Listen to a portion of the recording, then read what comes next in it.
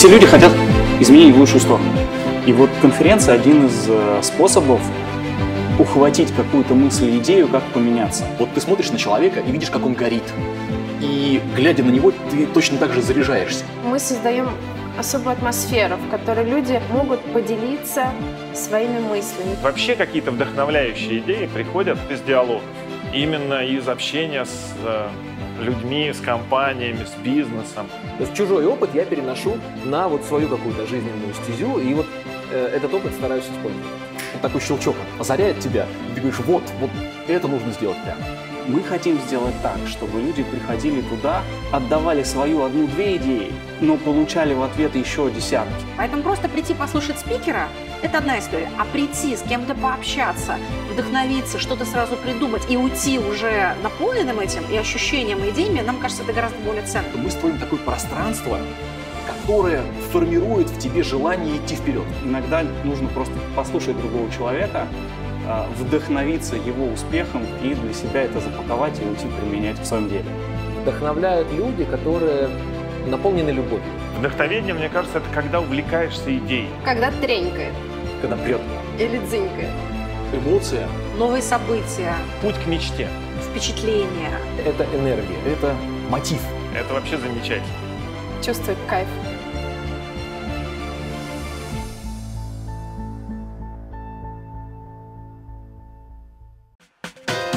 Коллеги! Рады приветствовать вас на Bittrex24 идея в Екатеринбурге, хотя на самом деле не совсем в Екатеринбурге, потому что мероприятие проходит сразу в трех городах. С большим количеством посетителей. Нас очень радует, что вы сюда к нам пришли. Большая часть из вас это предприниматели, владельцы или руководители бизнесов. И пришли вы к этой позиции своей, к этому статус-кво через сложный, а в нашей стране особенно а, тернистый путь.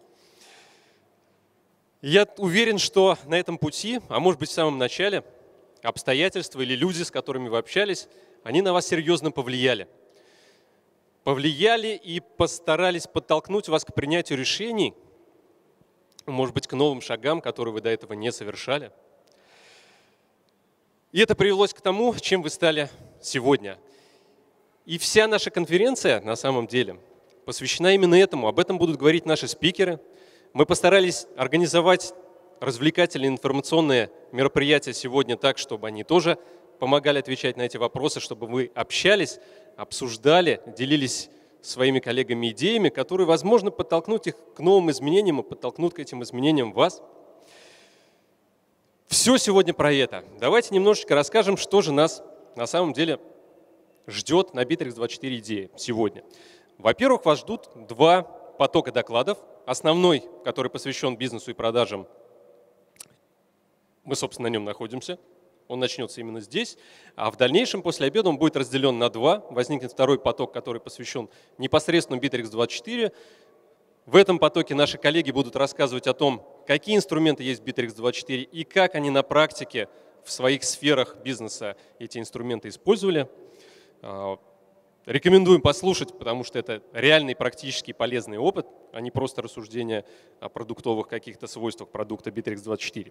В 13 часов начнется онлайновая трансляция доклада генерального директора 1С Bittrex Сергея Рыжикова, на которой он расскажет про новый инструмент Bittrex24, Bittrex24 интернет-магазин, и на самом деле расскажет про много других вкусных вещей, которые будут реализованы, а, запущены в этом новом релизе. Как обычно, это много самых разных новинок, обновлений, новых мелких фишек, которые, как мы стараемся, сделают вашу работу эффективнее и проще.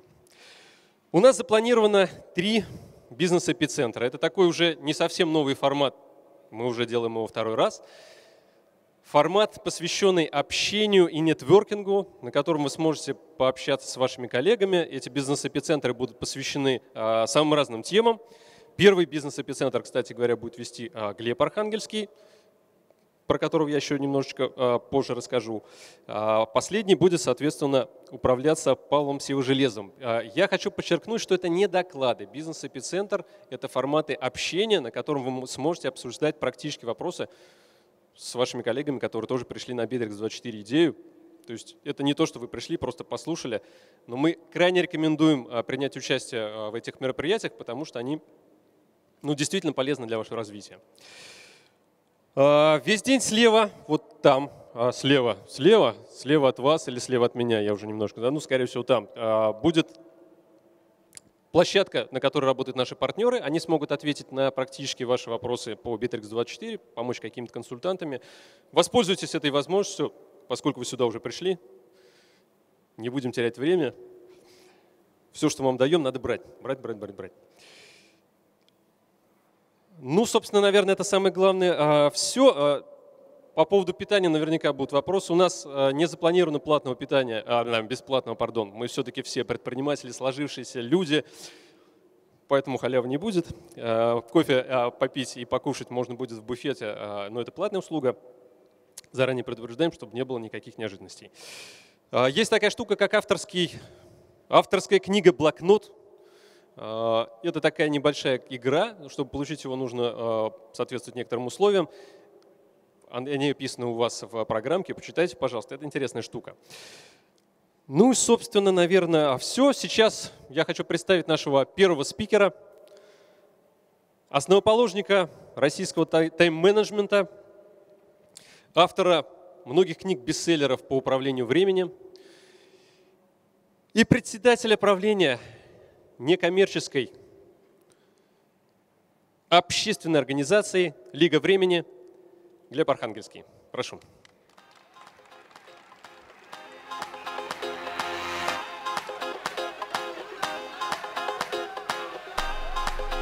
Доброе утро, уважаемые коллеги. Спасибо Битриксу за приглашение. Для меня втройне приятно выступать сегодня здесь э, по трем причинам. Первая причина самый первый в жизни юрлицовый счет, который я выставил, когда у меня появилось первое юрлицо, первое ООшечка маленькая, называвшаяся «Организация времени». Очень трясущимися руками я этот счет выставлял, я, я боялся, я еще ничего не знал, ничего не умел. До этого все было наличными, а тут вот прям юрлицо, то есть я уже такой прям предприниматель-предприниматель. А, было выставлено а, банку 24.ru, э, который еще тогда не назывался банком 24.ru, а назывался Урал Контакт Банк, и его только-только купили создатели банка 24.ru, и только-только начинали из него делать, собственно, вот то, что потом достаточно красиво э, на бизнес-небосклоне пролетело, промелькнуло, как э, такой красивый, интересный проект. Э, то есть это был первый мой официальный юрлицовый заказчик-клиент, и, собственно, я сюда приехал, проводил для них э, тренинг по тайм-менеджменту. Вторая причина, почему мне приятно быть здесь, э, первый и до сих пор действующий, собственно, сайт компании «Организация времени» был сделан на Bittrex, не 24, а просто Bittrex, и до сих пор на нем сделан. И третья причина, мы базу сторонников Лиги Время ведем в Bittrex 24. И, собственно, как-то вот все логично стыкуется, логично получается. Поэтому я с большим удовольствием сегодня поделюсь с вами некоторыми э, мыслями, лайфхаками, э, но не о тайм-менеджменте, а о бизнес-эффективности, о вещах, к которым я пришел, э, видя очень много предпринимательских ситуаций, очень много э, слыша вопросов, которые задавали предприниматели. Э, которые находятся на стыке личного и бизнесового, и которые нельзя решить ни в рамках только личного, ни в рамках только бизнесового. Э, я нарисовал такие три области. Первая область слева — это то, с чего, собственно, все начиналось. Это область тайм-менеджмента, личных целей, личной эффективности. Куда ты идешь, чего ты хочешь от своей жизни, как ты это планируешь в своем ежедневнике. Область справа — это бизнес-эффективность. Это как ты полируешь свои бизнес-процессы, повышаешь продажи, э, делаешь бизнес максимально прибыльным, максимально эффективным. А снизу синяя такая, синее пересечение этих областей — это э, вещи на стыке. Вещи на стыке, которые не могут быть решены не только в плоскости личной, не только в плоскости бизнесовой. Например, э, ваша как предпринимателя стратегия относительно вашего бизнеса. Кстати, кто предприниматель? Поднимите руку. Э, наемный руководитель, поднимите руку. Э, так, еще треть то ли не проснулась, то ли не признается. Я, я не очень понимаю, какая там еще может быть э, третья категория. Будем считать, что не проснулись. Так вот, для предпринимателя очень важный, очень интересный вопрос, э, о котором многие не задумываются, а я хотел бы, чтобы вы сегодня задумались. Э, это точка выхода из бизнеса, которая бывает позитивная и хорошая, то есть продажа бизнеса за крупную сумму денег, а бывает не очень позитивная, когда я устал, я ухожу, или рынок сильно изменился, или рубль к доллару куда-то не туда двинулся, куда вам надо, или просто объективно этот продукт, эта услуга больше рынку не нужны. И вот эта точка выхода, ваша стратегия относительно бизнеса. То есть не стратегия самого бизнеса, а что вы с ним хотите делать. Зачем вы его создали, сколько лет вы собираетесь его вести, собираетесь ли вы убиваться именно в этой лавочке всю вашу жизнь или остановиться, продать ее, получить какую-то сумму денег, вдохнуть, выдохнуть, э, передохнуть, э, обучиться чему-то и сделать что-то совершенно новое – совершенно такое прекрасное, совершенно красивое. Это вопрос, который не решается в рамках только личного тайм-менеджмента, личных целей, потому что, чтобы выйти из текущего бизнеса, надо, чтобы рынок был подходящий, чтобы покупатель такой был, чтобы это был хороший покупатель с хорошими деньгами. И, с другой стороны, не решается только в плоскости бизнеса. Если вы придете к бизнес-консультантам, э, скажете, хочу продать свой бизнес, вот вам технологии, э, все методики, как это сделать, как его упаковать, как сделать, чтобы это было дорого. Но хочет его продавать или нет, надо ли тебе продавать его или нет, ну ты, парень, сначала определись, придумай, а потом уже э, приходи. То есть это решение на стыке. Инвестиционные стратегии. То же самое. Если для, например, наемного работника с инвестициями все очень просто, откладывай 10% зарплаты, вкладывая их в спокойные, консервативные, надежные активы, и через 20 лет будет у тебя не государственная пенсия, и на государственную ты не будешь надеяться. Все очень логично. То для предпринимателя любое личное инвестиционное решение – это решение про бизнес и наоборот. Чтобы что-то лично инвестировать, надо из бизнеса больше денег достать. То есть это и бизнес-решение тоже. А с другой стороны, бизнес хочет роста, хочет развития, хочет капитала. Об этом мы будем вечером в 6 часов говорить, э, что любой растущий бизнес сожрет любое количество капитала, которое вы ему дадите. Где этот капитал взять? Скорее всего, сначала это личные деньги, э, кредит под личное поручительство, кредит под э, какой-то свой дом, машину, квартиру. То есть это, с одной стороны, бизнесовое решение. Хочу открывать не три клиники в год, а пять, и для этого закладываю свой дом, беру кредит. С другой стороны, это решение в области личных инвестиций, личной финансовой безопасности. Опять оно на стыке. И, наконец, мотивационные моменты. Третий момент э, очень важный. Э, у предпринимателя работа в среднем, э, на мой взгляд, более ответственная, более тяжелая, более выжирающая, чем у наемного руководителя по одной простой причине. Предпринимателю не на кого свалить вину. То есть у наемного руководителя всегда есть за соседней стенкой, вот, э, у коммерсантов технари, у технарей бухгалтера и так далее. В общем, какие-то плохие, неправильные люди, из-за которых все стопорится, и вот они все значит, делают не так. Э, предприниматели это хорошо знают, разруливая эти споры. Как только количество людей в компании превышает 10 человек, начинают сразу такие газпромовские корпоративные войны внутренние между подразделениями людьми. И, соответственно, э, наемный работник всегда может сказать, в конце концов, ну, начальник дурак. Ну, естественно, мы всегда лучше своих начальников знаем, как управлять компанией. Мы все гораздо лучше э, Владимира Владимировича Путина знаем, как управлять страной, правда, на кухне мы же это обсуждаем, мы точно понимаем, куда девать нефтяные доходы, надо повышать налоги или снижать. А предприниматель у него не на кого переложить. То есть если у тебя 100 миллионов э, рублей получилось в конце года дохода и 120 расхода, и как-то где-то надо этот минус чем-то закрывать, то ты можешь сколько угодно рассказать, что люди не те, э, рынок не тот, клиенты неправильные, сотрудники сломались, дайте новых, но у тебя 100 дохода и 120 расхода, а у кого-то наоборот. Это твоя конечная вина, и э, ничего с этим не сделаешь. Это очень выжирающая вещь. Вот эта ответственность, предпринимательская ответственность, это очень тяжелая выжирающая вещь. И самомотивация предпринимателя в этом смысле более сложная штука. Управление энергией более сложная штука. И там опять личные бизнесовые решения пересекаются. Я помню компанию на, на старт своей консультантской карьеры в начале 2000-х. Э, два совладельца, э, достаточно уже пожилые дядечки, под 60 обоим. Генподрядная компания, то есть бизнес очень завязанный на их личные связи, контакты, на их личный такой менеджмент, проект менеджмент. И они говорят, э, когда мы с ними начали работать по тайм-менеджменту, слушайте, а вот что-то мы задумались про цели, про задачи, про мотивацию. Нас менеджмент сейчас втягивает в программу регионального развития, филиалы открывать, еще что-то. А мы понимаем, что нам этого не надо. Нам надо наоборот, чтобы компания давала четкую, понятную прибыль, чтобы мы, идеальная цель, чтобы мы не пять дней в неделю в ней работали, а два дня, потому что уже внуки, и как-то хочется и книжки почитать, которые в юности не дочитал и так далее. Э, зачем же нас менеджмент в это втягивает? Я говорю, я понимаю, зачем менеджмент это втягивает, у менеджмента красивая строчка в резюме появится. Я развивал филиальную сеть, а то, что вам это оказывается для ваших жизненных целей не надо, ну это вот хороший результат нашего с вами общения. Поэтому вот эти вот мотивационные, энергетические вопросы, зачем вы делаете свой бизнес, что вас вдохновляет, кроме денег, э, делать этот бизнес, э, это вопросы очень э, непростые. И вот эту тематику на стыке, собственно говоря, мы и назвали эффективным бизнесменом и выделяем в ней четыре больших блока. Это бизнес как машина, то есть как сделать это более прибыльным, более дорогим, более продаваемым. Это вопросы управления персоналом, это вопросы управления личной финансовой безопасностью предпринимателя и вопросы личностные, то есть те самые эмоции, энергия, зачем ты это делаешь, почему ты это делаешь, что тебя вдохновляет это делать. И вот сегодня оба моих выступления, и утреннее, и вечернее, которое будет в 6 часов вечера, они в левом верхнем квадранте, там, где мы поговорим про бизнес как некую систему, некую машину, и про ваши стратегии а, относительно этой машины. Что вы, собственно говоря, э, от этой штуки хотите, зачем вы эту штуку создавали. Я вам покажу несколько э, необычный, может быть, и не э, часто упоминаемый взгляд на бизнес. Э, взгляд на бизнес как некий целостный продукт, который можно и нужно продавать. Обычно мы смотрим в рамках тех или иных книг, тренингов, встреч, конференций на разные кусочки бизнеса. Как выстроить эффективнее продажи, как э, управлять персоналом, как отшлифовать бизнес-процессы и так далее. То есть мы берем кусочек этого механизма и пытаемся как-то его максимально эффективно э, настроить.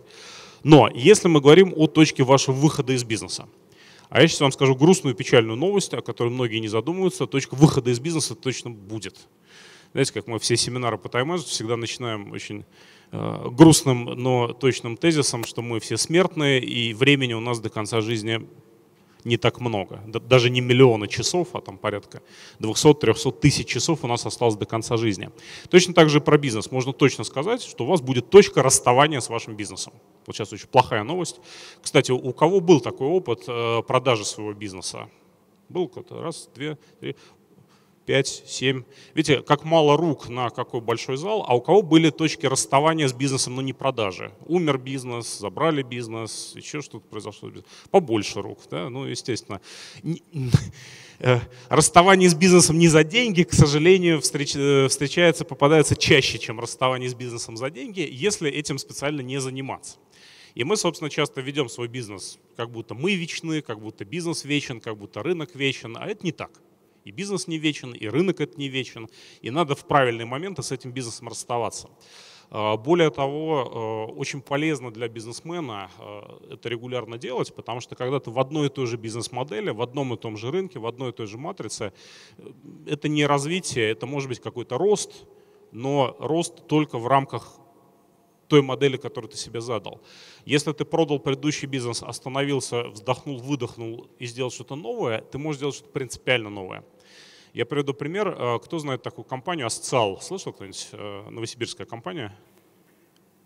Да ладно, ни одной руки? Мне Битрикс сказал 600 человек в зале. Так, хорошо, начнем проще. Кто знает такую компанию Транзас? Кто-нибудь знает? Одна рука, две руки, ага. Э, да, какие-то вот странные непопулярные названия. Хорошо, кто знает, какой, как называется самый большой авианосец НАТО в Европе? Кто не знает? Да. Э, самый большой авианосец НАТО в Европе называется Шарль де Голь, и на нем стоит картографический программный продукт от Санкт-Петербургской компании Транзас, э, которая владеет 40% мирового рынка картографии для кораблей. Ну, грубо говоря, Яндекс карты, но только специальные, сложные, особенные для, моряков. И 90% мирового рынка э, программных продуктов для маяков. 40% мирового рынка для кораблей, 90% мирового рынка для маяков. Я их хорошо знаю, потому что я их учил тайм-менеджменту в свое время, и э, некоторые мои одноклассники, однокурсники математики там работают, потому что много математики, естественно. Мы своих героев не знаем. Я их, кстати, спрашивал, а как э, вы на натовские авианосцы поставили. Ну, нашим понятно. Это юрлицо швейцарское, конечно, но все все знали, откуда уши торчат. И, и наше Минобороны дало санкцию, и тамошние начальники дали санкцию, что боевые русские хакеры самые боевые, самые лучшие. Вот, красивый пример, красивый. Но мы знаем Элона Маска, мы знаем Билла Гейтса, они написали красивые книжки, и мы значит, э, на это, так сказать, молимся каждое утро зачастую, а своих героев почему-то не знаем. И вот создатель этого транзаса, он, собственно, в прошлом капитан дальнего плавания, который хорошо знает эту морскую специфику, если бы он не вышел из этого капитанства, то такой красивый бизнес не создал. А я вспомнил компанию «Асциал» новосибирскую, тоже очень интересный кейс. Э, крепкие русские мужики, которые владели в Красноярске заводом, какой-то комбайно-тракторный завод, я уж не помню точно подробностей. В какой-то момент его э, продали за хорошую сумму денег э, и пришли в Новосибирскую академию наук и спросили, какие у вас тут самые вообще странные есть вещи, какие-нибудь самые интересные идеи. Им говорят, ну вот графеновые нанотрубки, какие тут безумные люди что-то придумали. Они стали изучать вопрос, а вопрос очень простой оказывается. Это принципиально меняет прочность материалов, то есть автомобиль, например, будет весить 4 килограмма, обладая всей необходимостью для, для автомобиля прочностью. Э, мировое производство тонна в год, стоимость килограмма 100 тысяч долларов, потому что производство только лабораторное. И они построили реактор на 10 тонн уже, несколько лет работает, сейчас строят реактор на 50 тонн, э, становится основным мировым производителем э, вот этого вот продукта, и это принципиально меняет вообще возможности э, очень многих производств в части прочности материалов. Если бы они свой комбайновый завод не продали, я очень сильно сомневаюсь, что они смогли бы выделить время, силы, мозг на то, чтобы сделать вот такой проект. А, тоже красивый пример. И, к сожалению, таких примеров не хватает. Ну, вот Тиньков, вспомнить, с чего начинал. Простой кемеровский парень сделал небольшой проект с пельменями в Петербурге. Пельмени упаковал, продал, потом сделал пиво, уже побольше, поинтереснее, покрасивее, пофедеральнее продал подороже. На эти деньги сделал банк уже совсем большой, красивый, продал, опять же, еще подороже. И каждый следующий бизнес является переходом какой-то ступеньки к новому бизнесу. Вот этой проектной стратегии очень не хватает, э, и очень я вас к ней призываю. Особенно удачно, как у меня получилось, когда я контрольный пакет в своем первом бизнесе продал в 2011 году, последний опцион реализовал в 2013 и потом девальвация, вот это вот все, и вдруг ты понимаешь, что твои пассивные доходы стали вдвое больше, просто в силу того, что инвестиции ты сделал международные, они не только в рублях, а и рубль к доллару вдвое упал, и у тебя никаких сотрудников, никаких зарплат, никаких аренд, это очень приятно. Я не скажу, что я такой сильно умный, что именно в 11 продавал, так во многом удачно получилось, но получилось хорошо. Соответственно, вот это точка выхода, точка э, продажи бизнеса, которая может быть очень плодотворной в карьере предпринимателя. Я сейчас такую страшную вещь скажу, э, которая может быть на самом деле точкой, где вы э, получили нормальное вознаграждение как предприниматель, потому что, к сожалению, большинство предпринимателей не зарабатывают больше, чем сопоставимые наемные сотрудники. Очень простой тест, рекомендую его пройти и, собственно, раз в год проходить, беседовать с рекрутерами и спрашивать, а сколько бы я стоил как наемный? Если бы я в исполнительные директора пошел, в коммерческие, ну, в какие-то, да, а, кем-то, кем бы вы могли. Вы знаете, часто печальная истина, что зарплатка-то была бы не хуже, чем прибыль в своем бизнесе, причем зарплата была бы два раза в месяц и стабильно, и в белую, и никаких тебе кассовых разрывов, и никаких тебе летних не сезонов, и, и январских каникул, и, и вопрос тогда, а зачем? И подпись никакую не ставишь, за которую можно себя еще где-то там а, прищучить, прижучить. Э, проверьте, такое домашнее задание можете проверить. Э, э, недавно у меня была встреча, ну как недавно, нет, уже, уже год назад, получается, это был февраль 2017 года, два бизнесмена рассказывают, мы такие крутые, вот у нас полтора ярда выручки, там тра-ля-ля, мы в, в тройку федеральных лидеров входим в своем рынке. А я всегда очень твердо задаю вопросы вначале, ну хорошо, выручку сказали, полтора миллиарда, прибыль сколько? Они говорят, мы себе платим по 200 тысяч рублей. Чудесная зарплата среднего менеджера в Москве, а прибыль-то сколько, денег-то сколько зарабатываете? Они начали мяться, сжаться. Говорят, ну вот мы ну, где-то 10-15 миллионов рублей. Подождите, прибыль не бывает 10-15 миллионов рублей. Она или 10 миллионов, или 15. Сколько прибыль-то за 16 год? Они опять мнутся и говорят, вы знаете, мы в 16 прибыли не заработали, но вот мы в 17 планируем пятнашечку так вот на двоих вывести. И подождите, вы хотите сказать, что со своими вот этими полтора ярдами выручки, федеральным лидерством, о котором вы тут 30 минут мне рассказывали, вы зарабатываете как хороший средний менеджер и мечтаете зарабатывать как крепенький бизнес-тренер, ну, знаете, так, 10 дней в месяц по соточке за день продал, минус 20% на маркетинг и секретаршу, это вот такой нормальный крепенький бизнес-тренер. Без книг, там, без бренда, а вот хороший, каче- качественно работающий. Они говорят, ну как же, это же у нас же торговый бизнес, он же низкомаржинальный. Я говорю, а сколько человек в офисе? Я говорю, 500. Я говорю, увольте 50, никто не заметит. А по миллиону на брата в месяц уже точно будете нормально получать. Ну, никто же не заметит, правда? Это как, знаете, анекдот про людоедов, когда два брата, коммерческий директор и технический, людоеды, пришли наниматься на работу. И владелец бизнеса им говорит, знаете, я знаю о вашей особенности, ну, как меня ваша частная жизнь не волнует, давайте только договоренность джентльменская, не на работе. Что вы там делаете вечерами, кого вы там, чем вы там питаетесь, это ваша личная проблема. Ну, хорошо, работают, все нормально, профессионалы, все, все, все классно. Э, через год вызывает их э, владелец, говорит, слушайте, была договоренность на работе, не-не, да, вот жалоба, тут уголовное дело, человек пропал, так что пишите заявление по собственному позавчерашним днем, вы тут уже не работали. Э, ну ладно, они написали заявление, ушли, и один другому говорит, слушай, ну вот ну надо было тебя, угораздило тебя эту уборщицу съесть. Сколько мы съели менеджеров, маркетологов, дизайнеров, айтишников. Никто не заметил, но вот надо же было уборщицу сожрать. Вот. Я этим товарищам говорю, что, во-первых, 50 человек увольте, во-вторых, спрашиваю, у вас бесплатные обеды в офис есть? Э, они говорят, да, ну как, соцпакет, тра-ля-ля. Я говорю, вы думаете, кто-то из тех, кто ест эти бесплатные обеды, не расскажет налоговой инспекции все, что о вас знает, если попросят? Расскажет. Уберите бесплатные обеды. Пусть люди бизнес-ланч кушают за свои деньги. И вы уже еще по миллиончику в месяц на каждого получите. И, к сожалению, это очень нередкая ситуация. Я бы вообще сказал, что 80% моей личной работы с бизнесменами сводится к тому, чтобы убеждать их э, немножко больше денег забирать в свой бизнес. Вот недавняя ситуация, сейчас январь, стратсессии были во многих моих компаниях, клиентах, цели на год, э, куда движемся, что делаем перед стратсессией встречи с владельцем бизнеса. Ну чего, значит, в этом году ярд сделали. А, что в следующем будем? Ну, так, оптимистично полтора получится, бизнес хорошо растущий, рынок растущий, ну, пессимистично, тот же ярд сделаем. Я говорю, хорошо, сколько денег для себя-то заберем? Ну, с ярда, наверное, там миллионов пятьдесят получится. Я говорю, хорошо, ну, не то, что хорошо, но, по крайней мере, МРОД, можно сказать, уже там 1 миллион долларов, даже меньше для себя забрать. Если с полутора, соточку получится, он думал, ну как же, а, а развитие, открытие новых. Это, понимаете, я говорю, развитие, оно всегда сожрет все.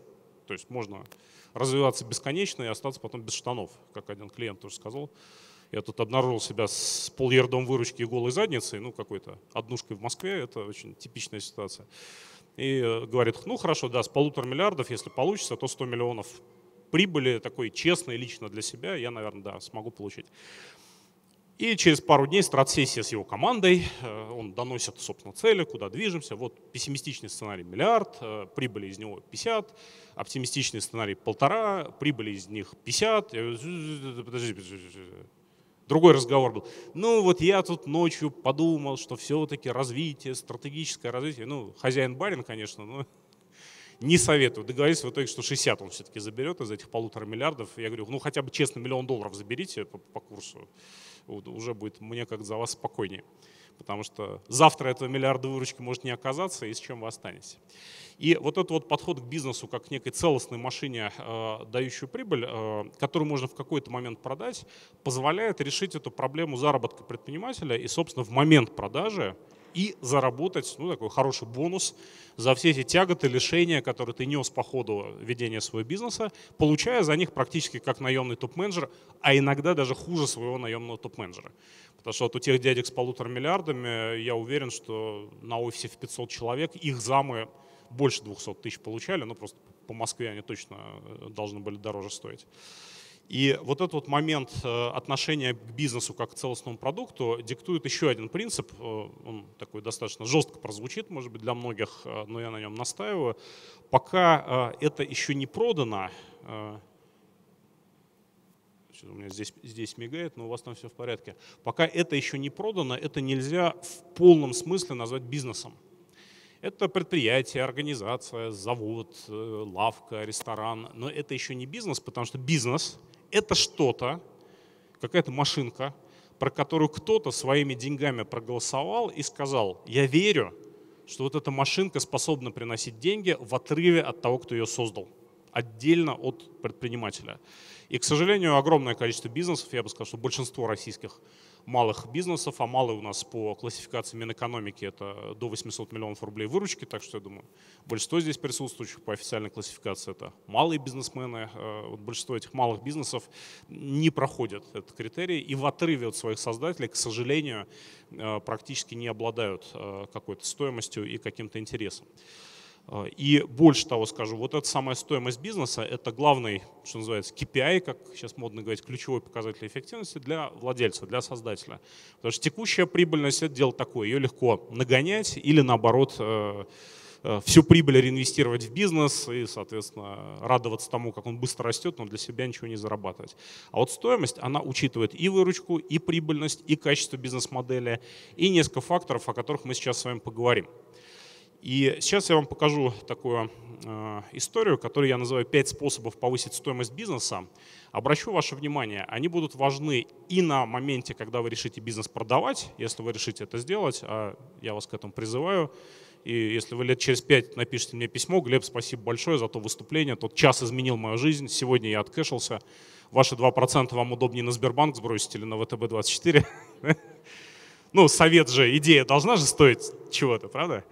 Вот. Э, я уже буду считать свою сегодняшнюю задачу выполненной. Если, если хотя бы 5% присутствующих в какой-то момент на горизонте в 3-5 ближайших лет это сделают. Но даже если вы не будете продавать бизнес, даже если вы не собираетесь это делать, даже если вы зачем-то хотите с этим бизнесом жить всю жизнь, хотя это, по-моему, очень скучное занятие, в одном и том же бизнесе жить всю жизнь, это вообще странно, и непонятно, зачем это делать. Э, тут у нас есть группа такая в WhatsApp для моих клиентов, предпринимателей – Галец, когда магнит продал, э, вот этот остаток, сколько там, 38% оставалось, у нас один, э, один из участников, из клиентов, очень такой, знаете, э, эхо московский товарищ, он, кровавый режим, отнял магнит, все, теперь, значит, как дальше жить, ну, там каждый раз, как что-то произойдет, это все кровавый режим, дальше жить нельзя. Я пишу, подождите, а ну, стоимость к рынку, там дисконт был что-то типа 5 или 7 процентов. Понятно, что если бы он это на биржу выбросил, то это не на 5 процентов бы все обвалило, а, наверное, процентов на 50. Человек прекрасно откэшился. Он до этого, за два года до этого в интервью сказал, что я устал, ну, надо так по процентику в год, может, по два процентика. Что на таких огромных объемах, естественно, если больше будешь продавать, то просто рынок обвалишь, и вся твоя стоимость потерялась. Тут такое чудесное предложение вообще, сколько там, 130 ярдов живых денег, кэшем сразу, ну, вообще красавец, молодец. А многие это восприняли так, что ах, там, отобрали, ах, плакал. По-моему, от счастья плакал. Ну, как-то вот. Если бы мне, да, если бы мне кровавый режим, знаете, так вот настоятельно дал 130 миллиардов, я бы тоже, наверное, плакал на сцене. Вот. Но если вдруг вы э, не собираетесь продавать бизнес почему-то, то все пять факторов, которые я сейчас покажу, для текущего управления тоже полезны. Для текущей эффективности, текущей прибыльности, текущей управляемости тоже полезны. То есть не воспринимайте их так, что прям совсем завтра надо бежать все продавать. Совершенно не факт. Э, первый фактор, э, исключительно важный, это то, что по-английски называется recurring fees, по-русски повторяемые ли ваши платежи. То есть являются ли ваши, или рекуррентные иногда говорят, калька с английского. Что имеется в виду? Есть бизнес э, разовых каких-то продаж. Вот, например, когда-то в 2004 году мы сделали сайт организации времени на Битриксе. И мы заплатили Битриксу какую-то сумму денег. И мы с тех пор Битриксу больше ничего за это не платили. То есть, ну, сделали, сделали, больше функционала никакого не надо, сайт и сайт. А вот Bittrex 24, э, опять же, когда мы Лигу Время создали некоторое время назад, э, сделал это облачко, там какая-то небольшая копеечка, у нас какой-то достаточно простой тарифный план, но копеечка получается ежемесячная или ежегодная, тоже я не помню, но как-то она с карточки списывается. И хороший покупатель бизнеса обязательно задаст этот вопрос. Какая доля выручки у вас разовая, то есть вы бежали, бежали, бежали за «Газпромом», продали что-то «Газпрому», очень радуетесь, подписали акт, получили деньги, и надо опять за кем-то бежать. За тем же «Газпромом» или за какой-нибудь «Роснефтью». Или вы продали один раз, и дальше вы продолжаете допродавать этому клиенту, то есть у вас выручка постоянная.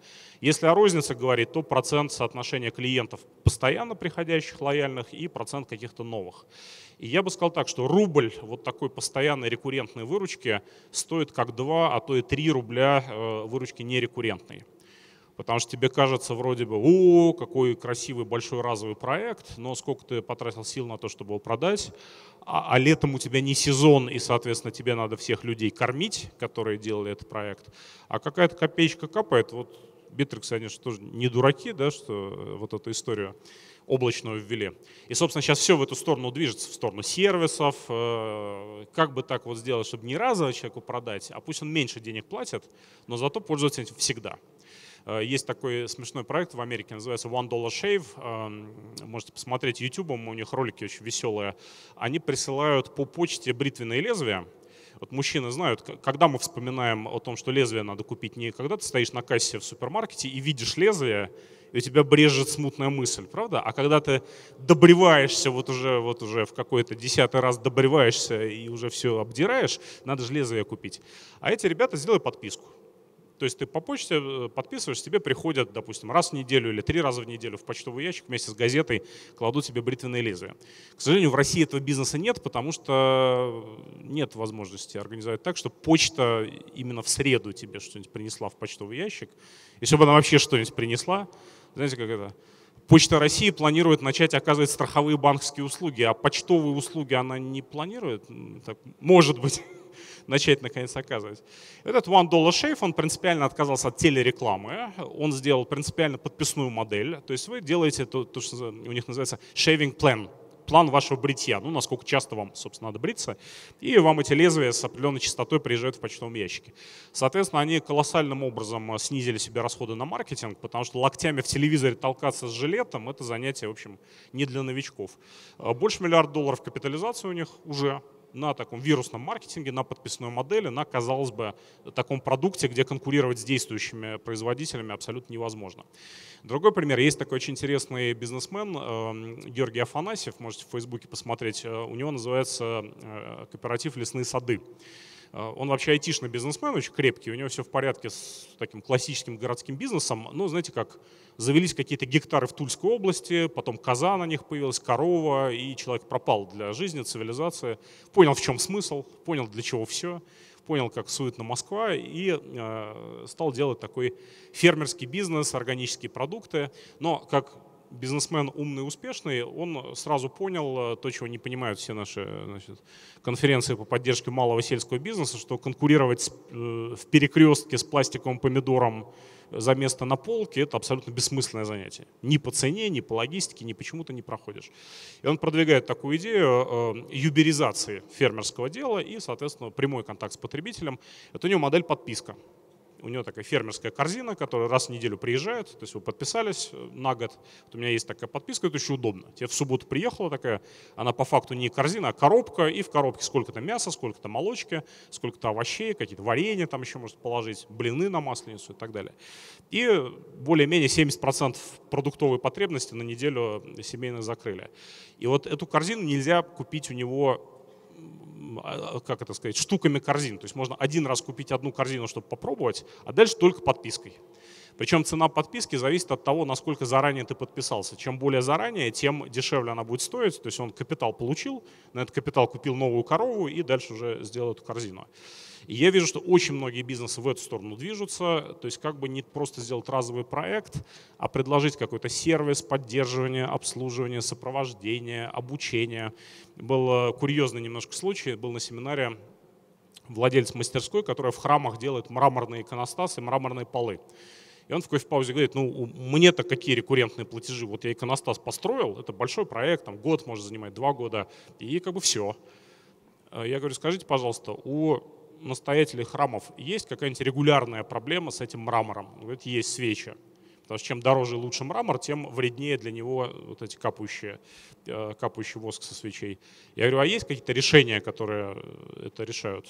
Ну да, можно долго, дорого и с трудом чистить, когда оно уже испортилось, или можно какой-то правильный мастик это покрывать с определенной регулярностью, и тогда оно легче чистится. Я говорю, так вот, собственно, Бизнес-модель, по-моему, валяется просто под ногами. Сразу построив иконостас или этот мраморный пол, предлагаете тут же абонентское сервисное обслуживание с рекуррентными платежами, приходить раз в месяц, натирать эти полы. Это всем выгодно. Это, это не то, что вы кого-то на что-то развели. Это нормальная совершенно win-win, что называется, ситуация. У церкви пол чище, у вас платежи. Конечно, они несопоставимы со стоимостью иконостаса, но, знаете, это курочка по зернышку. Тут тебе тысячу рублей в месяц, тут тебе тысячу рублей в месяц. Оно так и, и накопится, и приятно получится. Поэтому обратите внимание на модель вашего бизнеса. Если платежи разовые и проекты разовые, мне вас жалко и грустно, и срочно придумывать можно с этим сделать, хотя бы добавить какие-то моменты к этому сервисные. Если у вас платежи уже какие-то постоянные, бывает понятие постоянного клиента, очень хорошо занимайтесь его удержанием, привлечением, увеличением чека от него, и этот постоянный рубль гораздо ценнее рубля непостоянного и разового. Второй очень важный критерий – структурированность бизнес-процессов. Если лет 10-15 назад это была довольно тяжкая история, то есть какие-то нотации очень сложные, какие-то IT-решения безумно дорогие. И у всех было ощущение, что только большая корпорация может себе это позволить. То есть сейчас, пожалуйста, в том же Bittrex есть эти рисовалки какие-то простейшие для бизнес-процессов. И, собственно говоря, э, моя рекомендация для небольших бизнесов, если у вас несколько десятков человек, например, очень простое правило. На каждую важную операцию у вас должна быть написанная страничка А4, которая должна лежать в каком-то едином месте на портале. Как принять звонок клиента? Написали страничку А4. Спросить это, не забыть это, переадресовать на этого и так далее. Или как э, работать с конфликтным клиентом в магазине. Страничку А4 напишите, на портале положите. Или как правильно внести контакт в базу CRM. Там же проблема не в том, что CRM облачную купить, а в том, чтобы с пакистанской жестокостью всех заставить туда писать именно то, что надо, именно так, как надо, правда?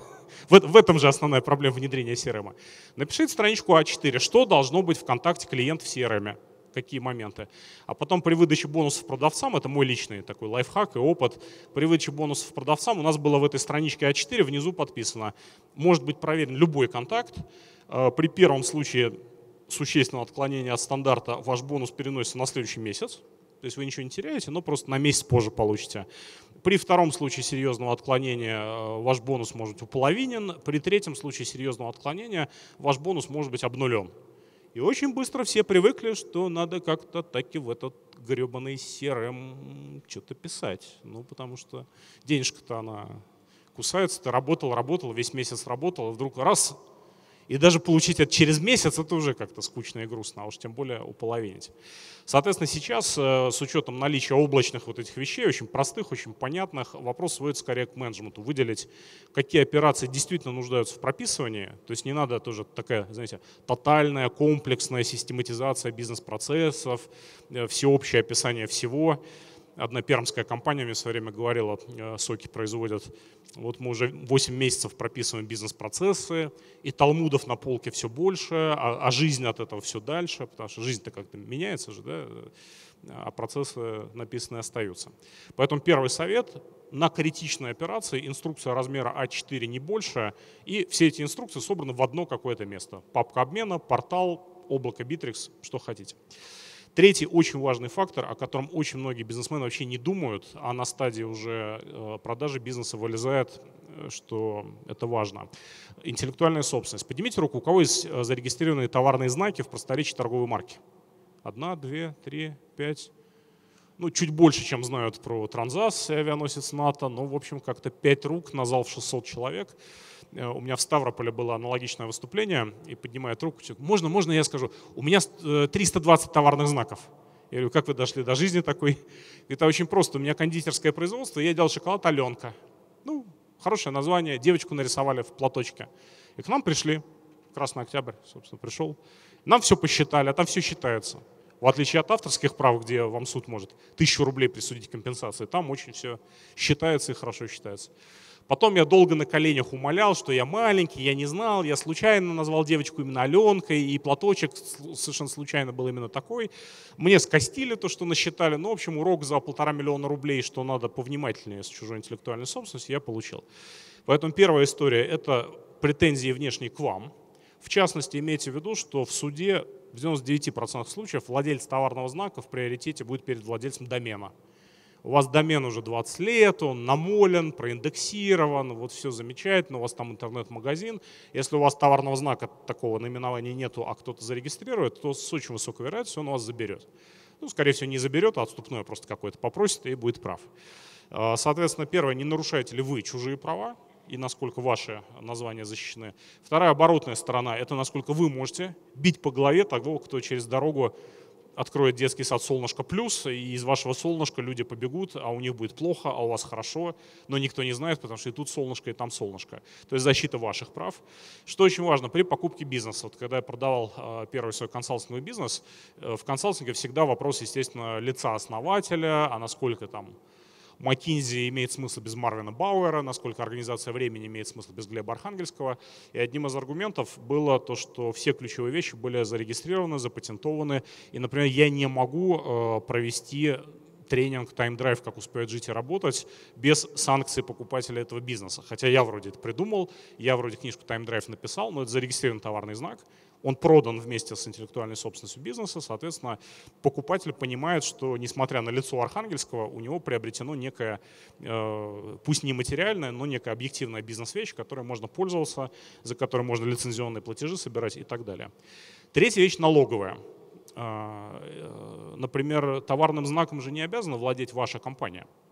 Товарным знаком может владеть ИПшник 6%. Он может роялти получать, собирать. Мне рассказывали про одну мебельную компанию, это совершенно неправда, может быть, и вообще там, если пресс-служба этой компании узнает, то я не про нее рассказывал, что она э, стульчики, табуреточки называет нечеловеческими словами, не потому что она так любит свои шведские реки и озера, как рассказывает, а потому что чем более нечеловеческое слово, тем оно более охраноспособно, как товарный знак. И каждое название защищено как товарный знак, и за каждую проданную табуреточку в каждой стране идет роялти, рассчитываемый от выручки – в компанию, которая владеет товарными знаками. Так случайно получилось, что компания эта находится в Люксембурге, и так удачно сложилось, что именно там вот эти авторские штуки не облагаются ничем. То же самое Facebook, Google, Microsoft делают с Англией и с Ирландией. Выручка вся в Великобритании. С Facebook вообще просто анекдот. Там миллиард выручки, 10 миллионов э, фунтов налогов заплачено. Почему? Потому что интеллектуальная собственность в Ирландии, и туда платятся, соответственно, эти роялти. Вот у нас так тоже можно делать. Э, ну, единственное, не надо так, что вы, гендиректор Пупкин, заплатили ИПшнику Пупкину 70% выручки в качестве роялти за товарный знак. ФНС далеко не идиоты сидят, и, в общем, на лбу себе не надо писать, что я тут сильно умный. Но вот если ИПшник этот не Пупкин, а Васькина, ну, не меняла у вас жена фамилию, например. Очень, очень удобно, когда жены фамилии не меняют. И при этом это не 70% выручки, а какая-то разумная цифра, рыночная, обоснованная, то вот у вас наибелейший, наичастейший доход, полученный от бизнеса с налоговой нагрузкой 7%, то есть э, ИПшный. Причем, допустим, бизнес отобрали э, кто-нибудь у вас вдруг, кровавый режим отобрал бизнес, а, а товарный знак где-то в другом месте. У меня есть знакомые, у них в Москве торговый центр – на несколько десят, нескольким десяткам разных юрлиц и разных ИПшников принадлежит. Это у них до, до смешного доходит, сидит азбука вкуса, и она сидит на трех разных арендодателях. Ну и, соответственно, ты можешь забрать какой-то из этих юрлиц, и что ты получил арендный объект, значит, у тебя сидит склад азбуки вкуса, да, вот что ты с этим будешь делать. И такая комбинаторика, э, в частности, с помощью интеллектуальной собственности достигается. Я видел сделки по продаже бизнеса, которые так структурированы. Сейчас контроль юрлица, такая-то сумма денег, потом оставшийся пакет юрлица, такая сумма денег, потом товарные знаки с такого-то ИПшника, еще такая сумма денег, потом авторские права, еще откуда-то такая сумма денег. И это позволяет структурировать сделку более безопасно и для продавца, и для покупателя. Поэтому обратите внимание, первый, э, первый момент – защищенность вас от внешних претензий. Второе – ваша возможность делать претензии тем, кто посмеет использовать ваше название э, и прочее. И третье – это налоговые моменты, которые надо с налоговым адвокатом, юристом хорошо проработать. Соответственно, в, в текущей практике это очень полезно, а при продаже бизнеса это может критично. И здесь смотрите, какой важный момент. Многие вещи важные для стоимости бизнеса, они не стоят много денег. Товарный знак – это 20 тысяч рублей государству, 20 тысяч рублей патентоведу. То есть это ни о чем. Но это год-два по времени. Соответственно, если вы вдруг задумаетесь, я устал, я ухожу, я хочу в Италию на море, на солнце, хочу завтра продать бизнес, то только товарные знаки – это все-таки годик. Там сейчас какая-то ускоренная процедура появилась, может, чуть быстрее, но это время. И многие вещи требуют именно времени, поэтому лучше их делать заранее. Четвертый фактор – это диверсифицированная и структурированная клиентская база. Первое – структурированная. То есть любому покупателю бизнеса очень интересно знать, что ваши клиенты не в вашей голове, не в визитницах ваших менеджеров по продажам, не дай бог, а в какой-то понятной, логичной облачной CRM. -ке. Ну, собственно, с этой сцены, иначе как про Bittrex CRM неправильно было бы говорить, а вариантов после скисания мегаплана, в общем-то, особо и не осталось, честно говоря. Э, ну, там и CRM, где-то там ноздря в ноздрю, но э, это только CRM. А так что все вместе, и CRM, и портал, это насколько я понимаю, у нас только в Битриксе. Поэтому первое, собрать всех клиентов в одну базу, опять же, с какими четкими правилами, как вносится. Второе, что важно, диверсифицированная клиентская база. Э, я помню один бизнес, э, который выставили на продажу, и бизнесмен гордо бил себя в грудь и говорил, мы очень крутые, у нас 80% выручки, это компания из группы «Газпром». Это хорошая была новость или плохая? Очень плохая.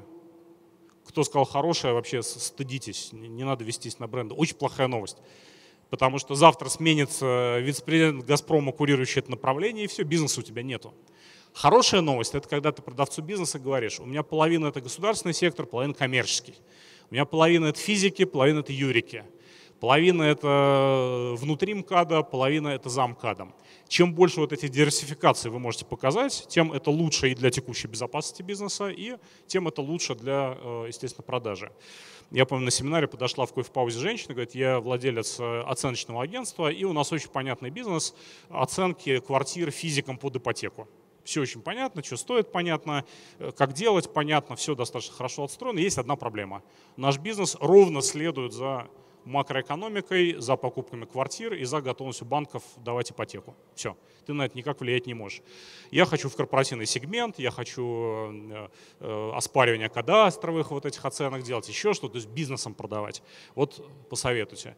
Я говорю, вы в правильном направлении мыслите, это хорошая диверсификация, но вы одну вещь имеете в виду, вы, по сути, говорите сейчас о совершенно другом бизнесе хотя это внутри той же компании, и это тоже называется оценкой, но это вообще другой бизнес. Это другой клиент, это другая модель продаж, это другие продавцы, это другое вообще все.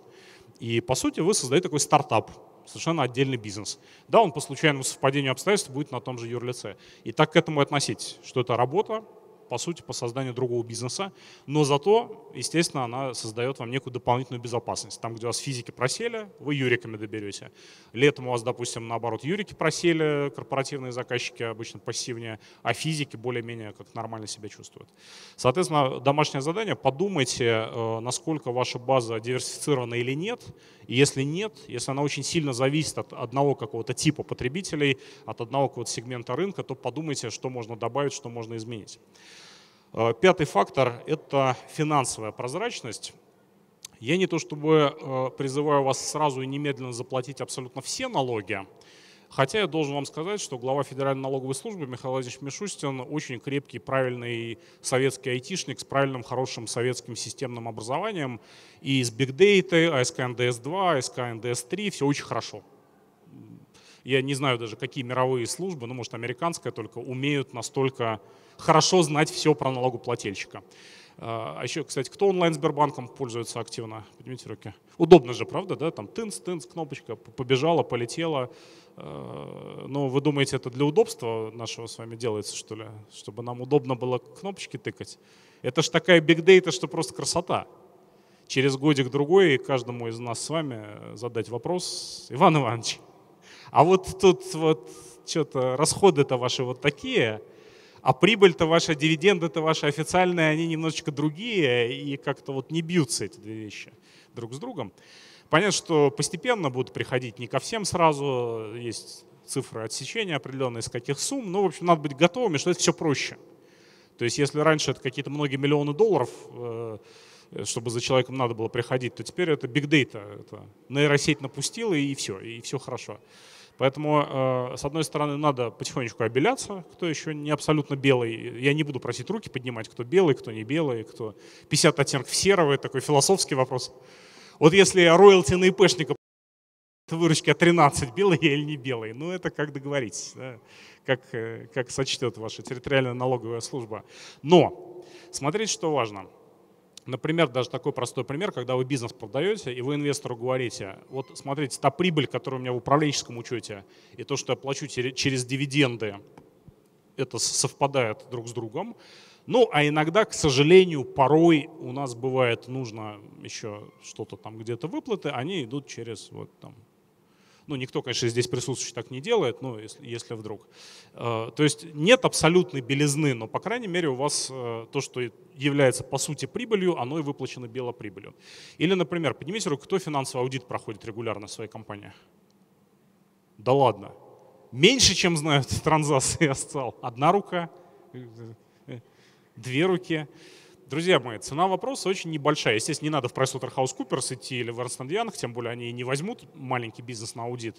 А мне в свое время для консалтингового бизнеса я взял первую двадцатку российских аудиторов, вычеркнул первую пятерку, а оставшиеся 15 спросил, когда у вас самое несезонное время, когда вы можете дать самую низкую цену. Ну, естественно, все август назвали. Нам это тоже было удобно. У нас тоже не сезон в консалтинге. И мне обходилось в 100 тысяч рублей проаудировать несколько юрлиц. Э, а в чем смысл аудита? Первое, независимый взгляд, что там химичит твоя бухгалтерия. А я вам скажу плохую новость. Вашему главбуху на ваши деньги, в общем, не очень интересно. Тут э, у клиента турбизнес, у них летом кассовый разрыв, клиент 4 миллиона рублей займом беспроцентно внес в юрлицо, чтобы вот эти Эрмитаж оплатить, там еще что-то. И осенью, когда иностранцы платят, иностранное турагентство, он, соответственно, забрал эти деньги. Бухгалтер это засчитал в выручку, этот беспроцентный займ, заплатил с этого все налоги на НДСном юрлице, то есть миллиончик хозяйских денег вот так просто раз и щелчком пальца улетел. Так вот первый смысл аудита – это чтобы вы вот это все увидели. Второй смысл аудита – за неделю до аудита офис начинает бегать как ошпаренный и вытаскивать из Хабаровска недовезенные счета фактуры, что тоже крайне полезно. И третий смысл очень важный. Когда вы ведете переговоры с потенциальным инвестором и говорите, вот у меня была такая-то выручка, прибыль, вот так-то это все росло, вот такие-то мы прекрасные, и при этом говорите, и это подтверждено независимым финансовым аудитом, от приличной аудиторской компании.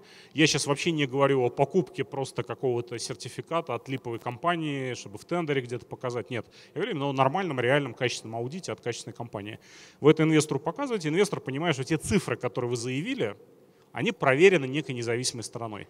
Конечно, в какой-то момент э, инвестор и своих финансистов тоже захочет прислать и в бумагах ваших покопаться и посмотреть, насколько там все чисто, красиво и аккуратно, но на первых, скажем так, стадиях переговоров вы уже показали, что вы молодец и что вы к этому относитесь э, тщательно, внимательно. И это кто-то подтвердил, какой-то независимый внешний человек. Вот считайте, я проходил аудит, в восьмом году я начал строить бизнес на продажу, то есть в четвертом начался консалтинговый бизнес, в восьмом мне умные люди подсказали, что продавать интереснее, чем не продавать, э, в одиннадцатом я продал контроль, то есть у меня аудит был, получается, за восьмой, девятый, десятый год, за одиннадцатый год еще не было аудита, три года, 300 тысяч рублей добавку к ценнику, к стоимости компании, мне это дало ну, минимум на нолик больше, минимум, может быть э, и побольше. Это трудно, естественно, оценить, насколько, какая именно чистота, красота вносит э, вклад э, в тот ценник, который тебе дали, но вот эта штука вносит вклад большой. Ну и, разумеется, везде, где можно упрощенки посмотреть, роялти посмотреть, посоветовать с налоговыми юристами, часто предприниматели не используют даже какие-то налоговые режимы, которые эффективны, возможно.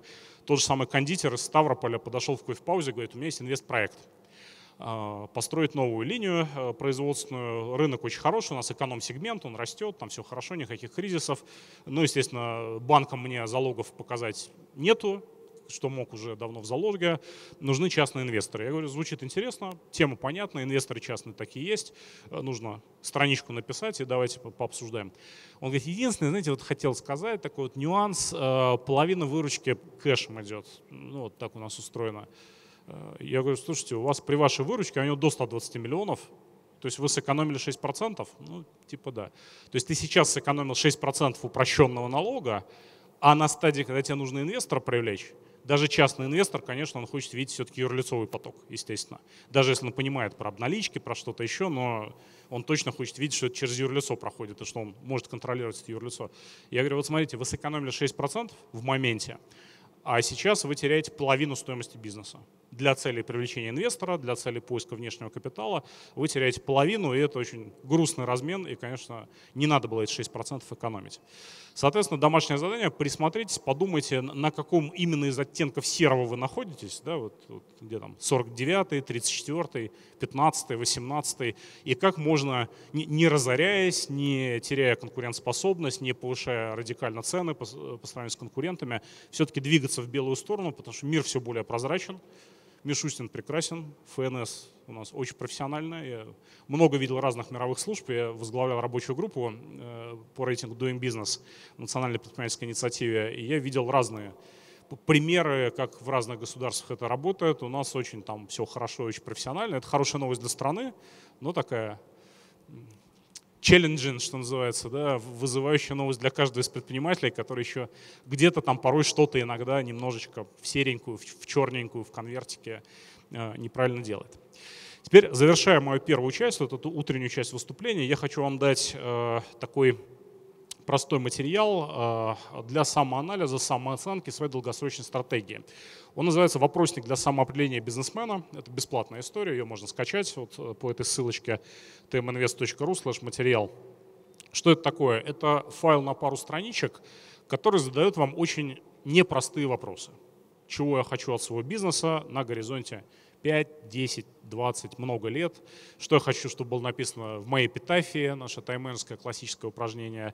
Хочу ли я передавать это наследникам, или я хочу это продавать, а за сколько я хочу это продавать.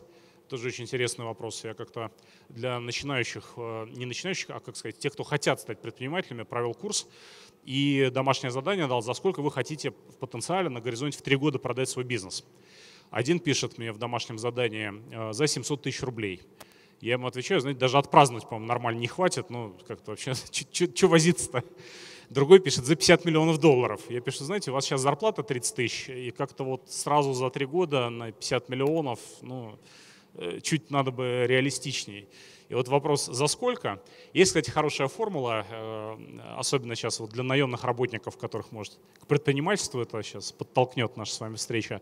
Очень хорошая формула. Э, выберите упрощенку, 120 миллионов, Делайте это с рентабельностью 20-30%, то есть чистая, живая, настоящая, честная прибыль 20-30%. За 3-5 годовых прибыли продайте, это реальная оценка, она хорошая, такая, надо постараться, но она реалистичная в России. Э, соответственно, вы продались, грубо говоря, за одну выручку, вот за эти 120 миллионов рублей. И вложив 120 миллионов рублей под 10% годовых в рублях, вы получите миллион рублей в месяц пассивного дохода. Вот очень простая, очень логичная формула. Чего желаю всем присутствующим, у кого еще этого нету. На этом, друзья мои, я завершаю первую часть. Мы еще с вами увидимся на бизнес вот этой кругло-переговорно-нетворкинговой штуке, которая будет вот там, в том зале, не, не помню, как этот зал называется. Это будет через 15 э, минут сейчас.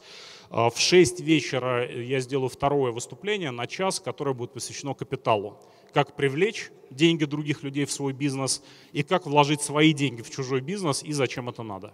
Вот такая наша программа действий. Большое спасибо за внимание и возвращаю слово э, за 14 секунд до окончания тайминга, который мне здесь показывали, я возвращаю слово ведущему. Глеб забыл на самом деле про шестой пункт, про продажу бизнеса э, рассказать, без которого все остальное не получится. Чтобы продать что-то, нужно же кого-то уговорить, особенно если хочется продать дорого. Для этого нужно быть хорошим переговорщиком. И, собственно, а бизнес-эпицентр, который он сейчас будет вести в ближайшее время, он так и называется «10 инструментов крутого переговорщика». Еще один повод а, в них поучаствовать. Поучиться у коллег, у самих у себя, у Глеба, в конце концов.